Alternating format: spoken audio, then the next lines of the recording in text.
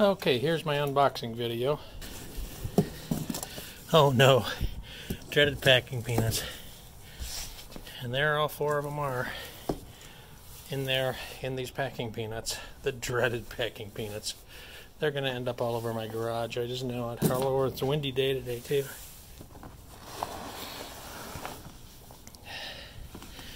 There's one of them.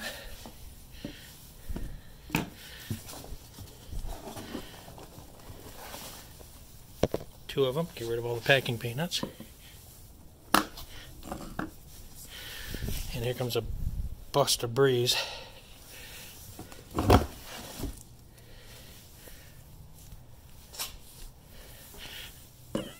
And three of them. And four of them. This one's got a nick in the top. Oh, it's got a bad nick there and a bad nick there. They've all got the cables on them. Alrighty. Okay, a little further on these battery packs. Three of them came in really good condition. I got these from Battery Clearinghouse for $35 a piece. And for those of you that may want some more information about the packs, there is a plug there. Get some light on it. There we go. And I understand from Jag35 site that when you're looking at this plug, get it spun around where I can get the slot on the top, the notch. When you're looking at this, the pin on the left, my left, is the positive and the pin on the right is the, the negative. Little pin is the same way. Here's some information about the cells itself if you want to pause that and take a look at it. There's also a quite a large lithium battery pack sticker here. If you want to pause and take a look at that, it tells you model number, charge voltage, 42 volts, etc. And uh, screws on the end,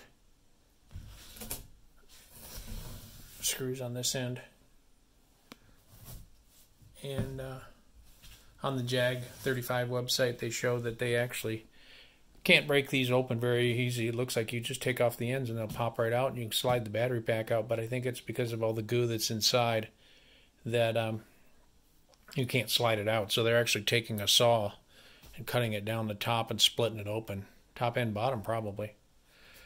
But anyway, I uh, just wanted to show you what these things are doing now. Um, I had one pack that was bad. It had a this thing was completely smashed flat, so I contacted Battery Clearinghouse and they're going to send me a new battery in exchange for this one. So I'm starting to monkey around with this one a little bit. You can see I pulled off the little plug and uh, put an XT60 on there.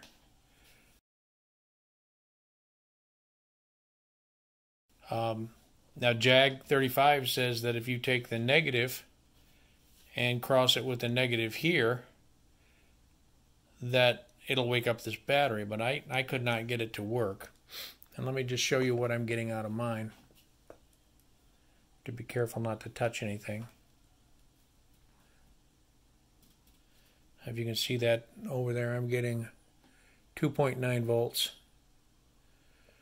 The other thing that Jehu says is that if you start applying a charge to this, that it may wake it up as well. So I've got a charger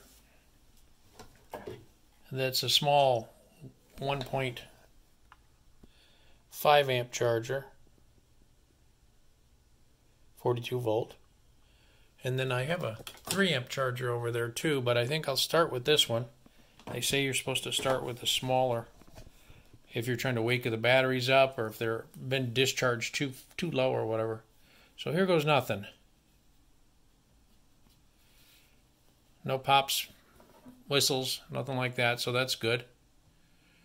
So now let's just see if by adding a charge it's going to show that we've uh, increased or unlock that BMS rather, so we're, we're going to increase the power here.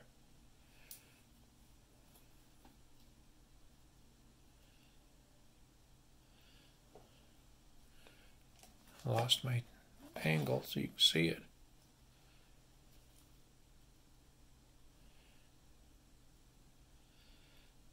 What do we got there?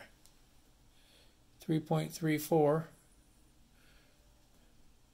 Ooh, 33.4.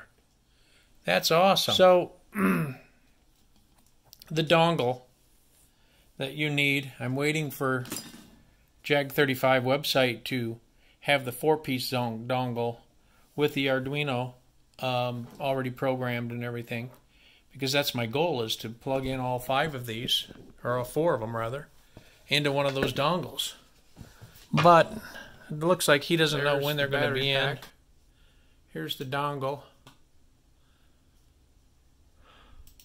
I like to have the 4XD90 and uh, you can see here it's got four ends on it so that's the one I want to hook up to all the batteries and then be able to, uh, this little device here sends a signal back to the battery every five seconds or so. It keeps the battery operating, keeps the BMS operating. So that's my plan is to go with this and use the existing plugs. As a okay, backup there's plan, a guy that did reach out to Jehu and sent him a couple of his boards that he created and um, it looks really promising. So I'm going to order two of these as a backup plan in case uh, Jehu doesn't get his boards in. But if you're interested, his name is Aaron Shellhammer. He's got a video on uh, YouTube showing the this. FaustianBargain.org is the name of the site. I'll just uh, okay. So anyway, you want to go to this site, faustianbargain.org. There we go. Okay, Faustian Bargain. Anyway, that .org, and he gives credit to Jehu on everything. And here's actually Jehu's um, review of his little device. Now here is his device, and you can see what it looks like. He's got a switch on it. It's very small. It doesn't have that separate bucks converter, and there's the price. So I went ahead and ordered two of those. So again, my plan is to go with those five, four or five dongles if uh, Jahu, Jehu can get them. And uh, if he can't get them in, then, uh, or it doesn't get them in soon enough, then I'm going to break them down and use, uh, use this guy's here. So that's it for now. Okay, so this thing's been running for a few hours we started out at 30 I don't know, I think it was 34.7 volts. You can see now we're up to 41.6. I got it hooked up charging. I'm using the 3 amp charger. Sorry for the mess. I got my drawers open, just using them for uh, things. Um, one thing that's making me a little nervous is we're getting cl pretty close to that 42 volts. And I want to make sure that this charger is going to shut off at 42 volts. I did have a uh, Kill A Watt plugged in. Earlier it was putting out 148 watts. And now you see it's about 90 watts. So hopefully it's starting to taper down the low end of the charging cycle. So uh, we'll stay tuned and see if you can hear it running and the fan, it's still charging. So we'll uh, we'll see what happens here. Okay, I have some good news. It got all the way up to 41.8, and then the uh, charger shut off. And you can see the green light is on, saying meaning that it's fully charged. And you can see my wattage dropped to nothing. And uh, then after the charger went off, it dropped to 41.6 and it's been about a minute and it looks like it's stabilizing to 41.5. Here's an update. These two good packs, I went ahead and cut off the small connector and spliced in an XT60 and uh, did that to both of them. And sure enough, as soon as you plug it in and start charging it, it starts to show voltage. So I also made up this pigtail. I'm not done with it yet, but I've got two of the legs on it. Made up this pigtail going down to my, uh, there it is, going down to my 3 amp charger. And so right now I'm charging these two at the same time. Ultimately, I'll put XT60s on these, and uh, then I'll be able to charge all four at the same time. My plan is to mount them in some kind of a box or something. Here's one that I made before. I can turn it on here. I've got it going from a three scooter batteries, the old style, and then I've got it running through a Bucks converter down here to a regulated 12.2 watts or 12.2 volts and then I've got that down to a uh, cigarette plug and also a couple of USBs.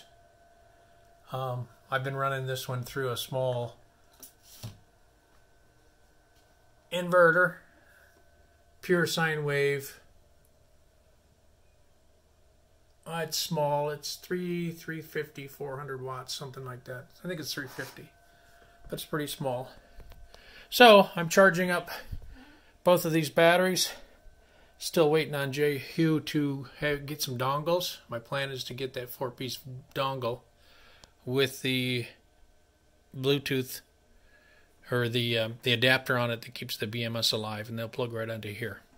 So that's my update for today.